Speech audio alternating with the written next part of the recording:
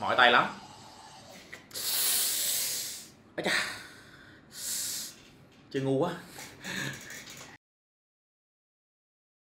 Vâng, hello tất cả các bạn nha. Hôm nay thì à, mình sẽ hướng dẫn cho anh em à, cách để tập luyện cổ tay. Hôm trước thì mình cũng đã làm cho anh một clip rồi đây là clip mà chúng ta có thể tập luyện cổ tay bằng một cái vật training.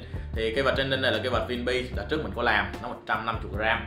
Thì cái vật này thì nó hướng nặng đầu tí xíu và chúng ta có thể quýnh được nhiều động tác các bạn ha. Thì các bạn coi clip cũ đó thì chúng ta có thể tập đọc được tập thủ, tập tạc và dùng cái vật này để quýnh cầu vô tường. Nó rất là ok. Nhưng mà cái bất tiện của cái vật này chính là khi mà chúng ta đi đánh cầu á à, chúng ta đi lên cơ quan hay đi đâu đó thì chúng ta phải cầm theo thì cái vật nó dài, nó rất là khó để cầm thì hôm nay mình sẽ hướng dẫn cho anh em cái cách để chúng ta có thể tập luyện bằng cổ tay nhưng mà nó tiện dụng hơn các bạn nha.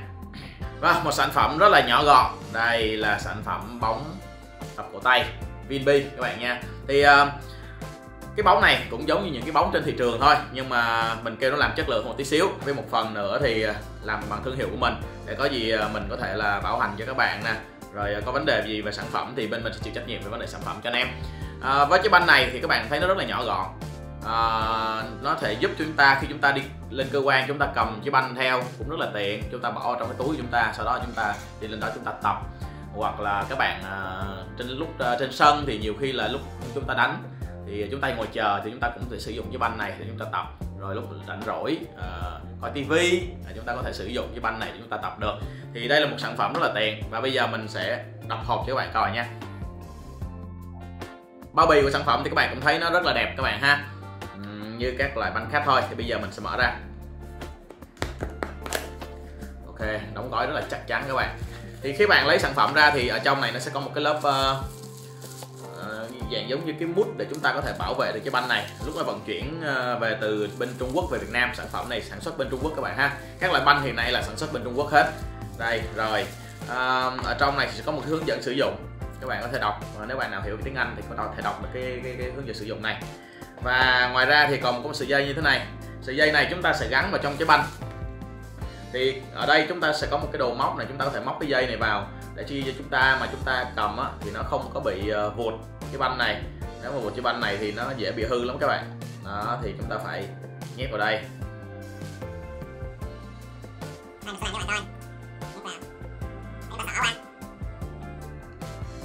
Ok thế là chúng ta cái banh của chúng ta nó sẽ được uh, gắn vào cái trong cái dây này thì chúng ta chúng ta đeo chúng ta sử dụng cái banh này nó sẽ không có bị vụn.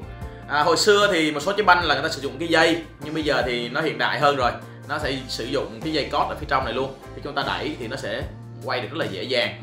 À, về hình thức bên ngoài ở chiếc banh thì các bạn cũng biết nó cũng có một cái lớp màu đen như thế này rất là bám để khi chúng ta cầm chiếc banh chúng ta sẽ à, không bị uh, vụt chiếc banh đi không bị rớt chiếc banh. Và các bạn sẽ thấy đây nó có mũi tên các bạn này đấy các bạn thấy mũi tên không? Thì chúng ta cứ đẩy lên. Nó sẽ lên được cái dây cót cho cái sản phẩm của chúng ta. Đẩy lên đẩy lên đấy.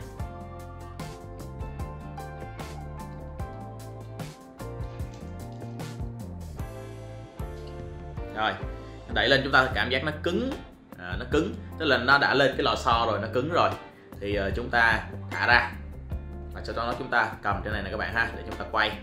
Này đấy các bạn thấy cái bánh không? Khi mà nó quay đủ tốc độ của nó nó sẽ sinh ra rất là nhiều màu hoặc là nó sẽ có màu đỏ hoặc là màu gì đó. Nói chung mỗi cái banh nó sẽ có màu khác nhau. Các bạn thấy quay như thế này nè. Để chúng ta tập cổ tay.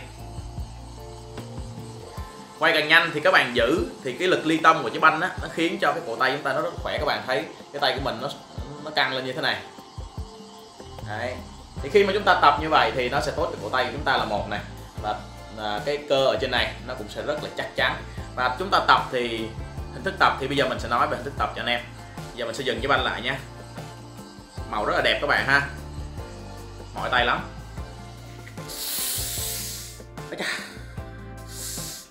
Chơi ngu quá. Ok. Rồi đó là cái cách mà chúng ta sử dụng. À, còn chúng ta tập thì sẽ tập như thế nào? Cái banh này thì các bạn cũng thấy nó rất là tiện rồi. Chúng ta đi ờ, lên cơ quan chúng ta có thể đi đâu chúng ta cầm theo chúng ta rất là tiện để tập nhưng mà tập cái banh này thì mình cũng khuyến khích các bạn tập á, là một lần cho các bạn quay cỡ ba bốn phút mà khi mà các bạn thấy mỏi á, thì các bạn nên ngưng. Và ví dụ như làm như vậy khoảng ờ, năm bốn năm hiệp gì đó làm nói chung rất là tức là bốn năm lần đó các bạn làm nó nó nhiều lần và tay chúng ta dần dần nó sẽ khỏe. Và thường là các bạn đừng cố gắng tập quá nha tập quá thì chúng ta sẽ bị đau tay và đau tay chúng ta ta quýnh cầu không có được.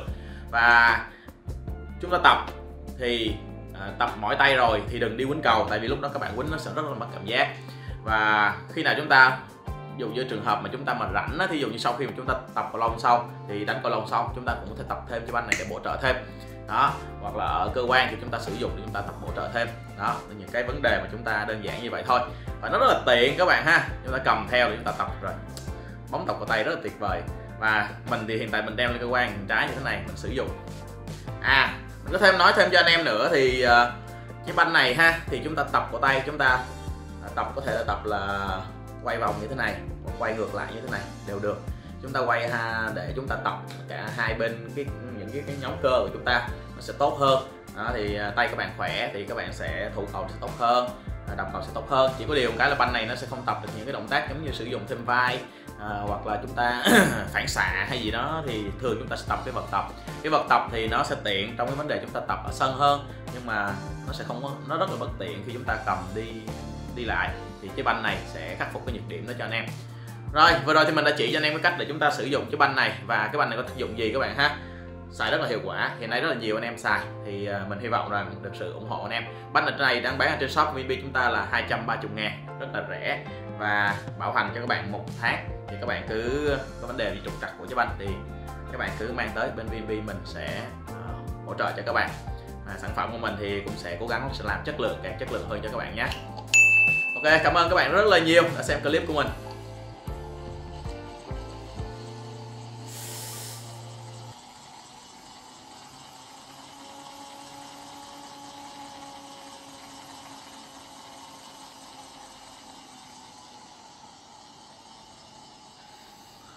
phê.